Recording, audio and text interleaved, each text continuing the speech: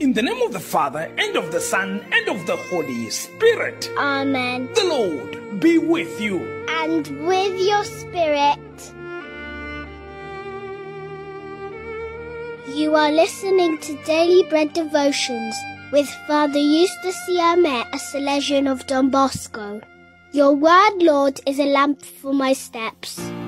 Stay tuned. This is my daily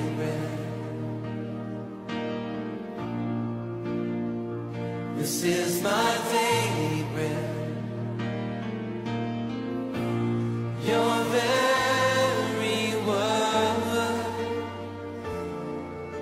spoken to me. It is Wednesday, the 16th of August, 2023, 19th week in ordinary time. And today, as Salesians of Don Bosco, we still remember the birthday of Saint John Bosco, born on the 16th of August, 1815.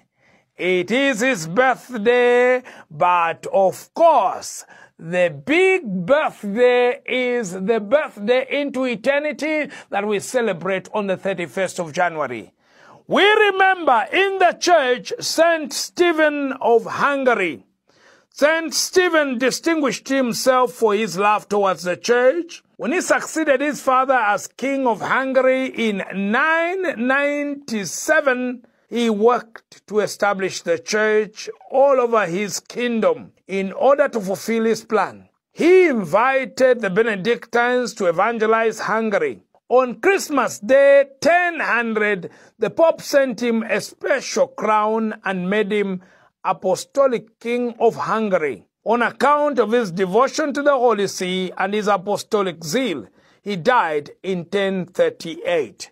Participating in the proclamation of the Word of God for today are the following Daily Bread members. Mary Ann Mashangoane from Polokwane, South Africa, celebrating her birthday today, takes for us the first reading.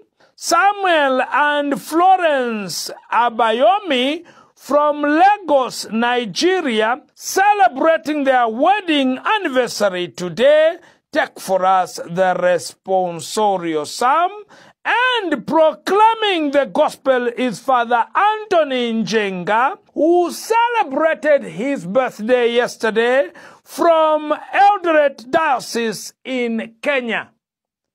Let us pray.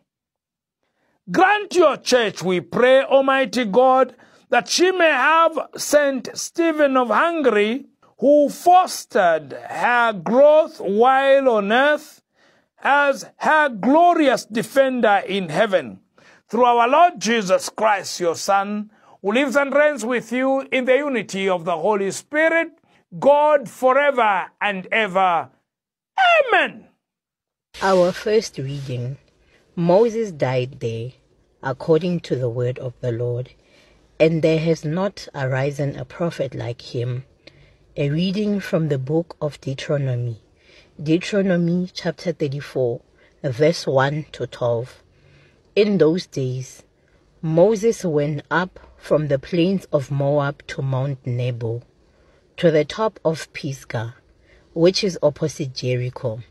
And the Lord showed him all the land, Gilead as far as Dan, all Naphtali, the land of Ephraim and Manasseh, all the land of Judah as far as the western sea, the Negeb and the plain, that is the valley of Jericho, the city of palm trees, as far as Zoar. And the Lord said to him, This is the land of which I swore to Abraham, to Isaac, and to Jacob. I will give it to your descendants. I have let you see it with your eyes, but you shall not go over there. So Moses, the servant of the Lord, died there, in the land of Moab, according to the word of the Lord. And he buried him in the valley, in the land of Moab, opposite Beth Peor. But no man knows the place of his burial to this day. Moses was a hundred and twenty years old when he died. His eye was not dim, nor his natural force abated. And the sons of Israel wept for Moses in the plains of Moab thirty days. Then the days of weeping and mourning for Moses were ended. And Joshua, the son of Nun, was full of the spirit of wisdom.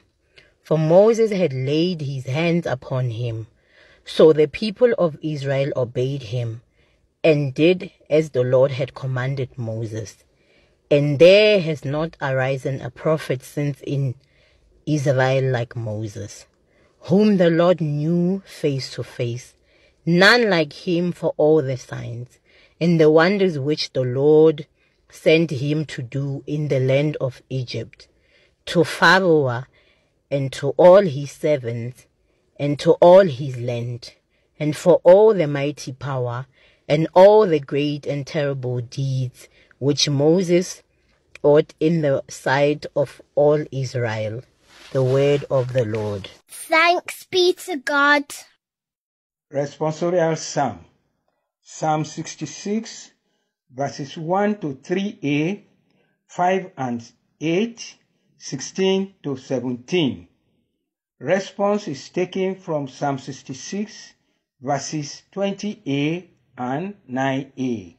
And the response is, Blessed be God who gave life to my soul.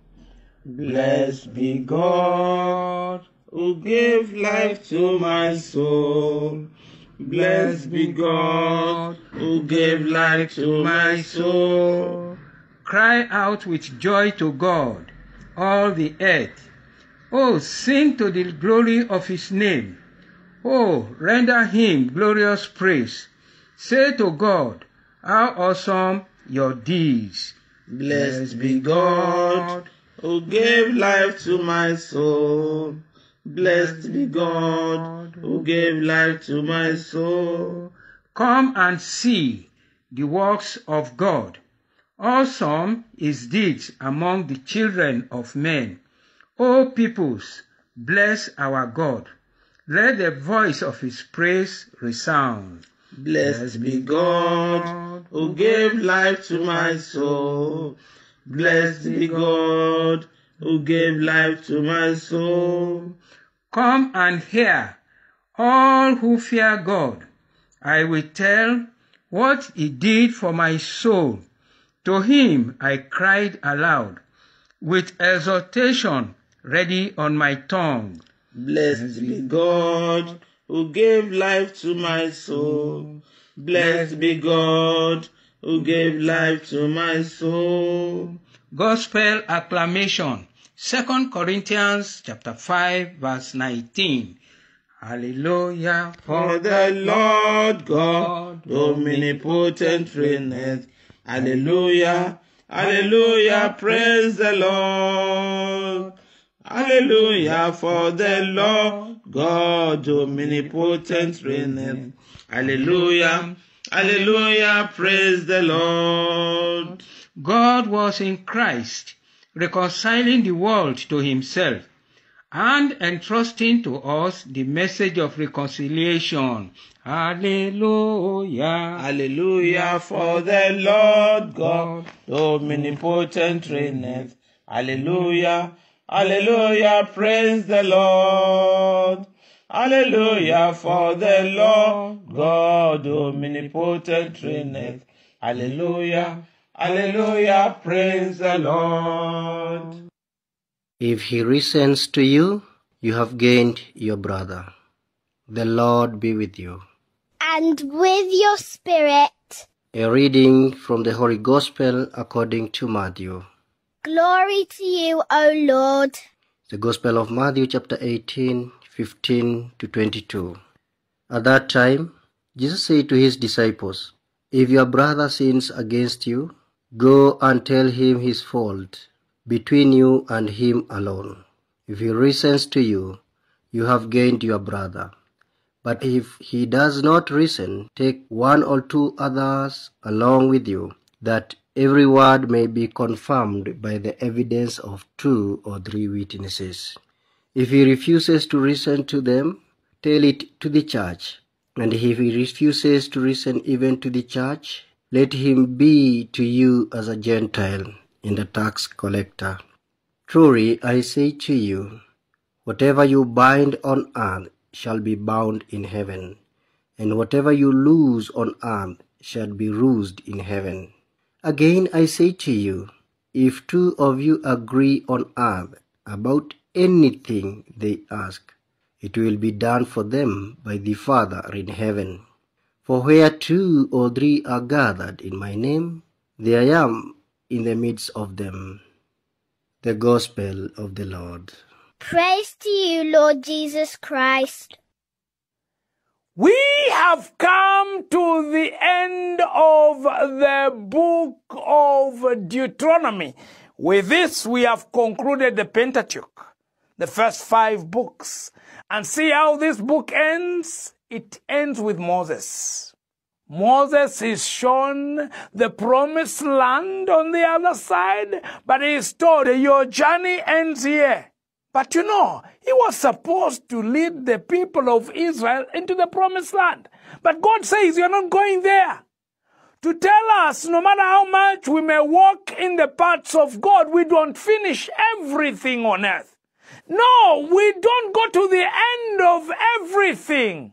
That is why anyone who passes on is said to have gone too soon. Even somebody at 120, like Moses, is gone too soon because he would have wanted to continue with his life on earth. He saw good things ahead of him. And many times, you know, God may show us a lot of good things ahead of us, but we have to know we're not going to have all those good things. We will be given some things. We will have access to some things. Let us just be grateful for those things that God allows us to test. Because not everything will be in our keeping to the end of our lives. No one can get satisfied that he or she has had enough. Moses is taken and shown at 120, still strong. At 120, he died. To tell us, yes, even when we see God face to face, we are not going to be exempted from death. Even when we are so close to God, death will come our way. But our own satisfaction should be that we did our best. That's all. Moses did his best. Moses was a great man, and this has been attested in the passage of today. There has never been any prophet as great as Moses. Oh, we'll miss you, Moses, for now. We are going to get to Joshua tomorrow. The gospel passage of today talks about relationships and prayer life. The passage talks about relationships, especially the way we get to forbear with one another. If your brother sins against you, go and tell him his fault between you and him alone. A thing we rarely do. When somebody does something wrong to me, the first thing that I do is to go and escalate the problem. I go and share with other people. Listen to what that person did to me. Listen to how bad is that person. Are you a Christian? If you are a Christian, you will evangelize even through that. You will not escalate the problem by creating more enemies of that person. No, your intention always is to create people for God, is to create more disciples for God. And so what you do then is to go and tell, not other people, but tell the person and say, listen, my brother, listen, my sister, I was offended by what you said. It was painful. And share with that person alone. And if that person listens to you, you know what the word is saying? You have gained a brother. You know what the word is saying? You have expanded the kingdom. You have evangelized. Oh, it takes a lot of courage to do that. Because many of us think that we are being taken advantage of by other people. When somebody offends us, We just want to fix that person. And we want to ask for more in the battalion of fixing other people instead of asking God to intervene, instead of going to that person directly and dealing with the problem. The other aspect that Jesus speaks about is the way the things we do on this earth affects our heaven. Whatever you bind on earth shall be considered bound in heaven. That is why earth is an industrial attachment for heaven. Remember, we are creating heaven in the way we live our lives today. Whatever we bind on earth shall be considered bound in heaven. Whatever we loose on earth shall be considered loosed in heaven. Meaning the love with which you live your life here on earth shall be the love that God is going to endorse in heaven. The hatred with which you live your life here on earth shall be the hatred you find in heaven. And that heaven won't be heaven, it will be hell. That is the hatred that you find in hell because you are creating your own hell here on earth and you are creating your own heaven here on earth. And then he goes on to another point, the point on prayer. If two of you agree on earth about anything they ask, it will be done for them by my Father in heaven. That is why it is very important for you to pray with your family. Don't pray alone. No, make it a point to pray with your daughters, with your sons, with your spouses, unless your spouse is such a drunkard that he or she cannot join for prayer. But the Lord is saying, whatever you agree on, two of you shall be done in heaven shall be given to you. And I am seeing the effectiveness of such prayers. I see it happening on daily bread. People are waking up at 3 a.m. and they pray. And the effects of these prayers are felt very strongly in my life because God answers those prayers. Where two or three are gathered in my name, I am there. He is there. Whenever you just say, let's meet for prayers, you may be just three. Understand that you are four because the fourth one is God Himself. Glory be to the Father, and to the Son, and to the Holy Spirit. As it was in the beginning, is now, and ever shall be, world without end. Amen. The Lord be with you. And with your spirit.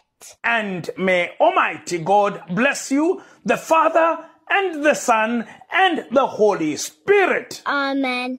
Blessed Wednesday to you. Thanks be to God. This is my daily bread. Your very word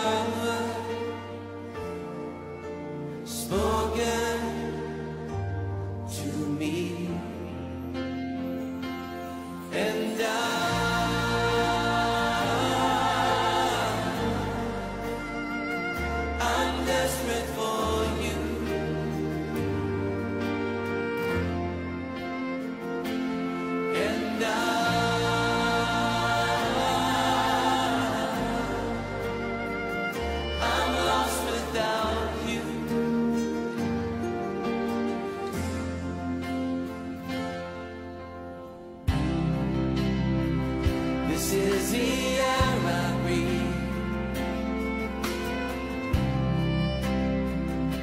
This is